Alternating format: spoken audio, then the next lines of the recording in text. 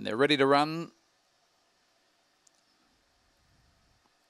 Racing, jumping quickly near the inside. Long story short, also fast away was Iron Boyne driving through. She's a Yorgi in behind them. Next of all, Slick Azza, then followed by 90 Mile Barry. Well back with it was Ronaldo Reason as they swing around the corner. Long story short, in front from Iron Bourne. Long story short, wins from Iron Bourne. Third in was 90 Mile Barry, Rolly Becks, and in behind them was Ronaldo Reason. Well back was Slick Azell, She's and A Yorgi at the rear.